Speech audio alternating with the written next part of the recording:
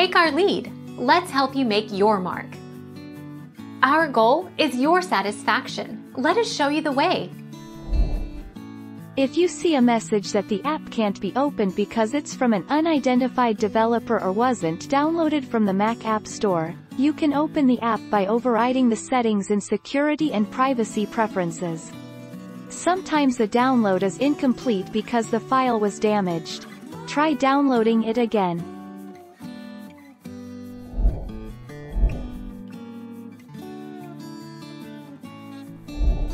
Make your mark. Take our lead. Sometimes, it might seem like Safari downloads aren't working normally because of a certain setting.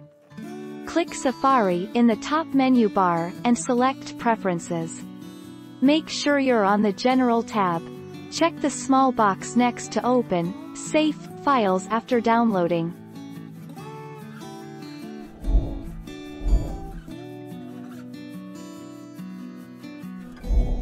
Take our lead. Let's help you make your mark. A navigation bar appears at the top of an app screen, below the status bar, and enables navigation through a series of hierarchical screens. When a new screen is displayed, a back button, often labeled with the title of the previous screen, appears on the left side of the bar.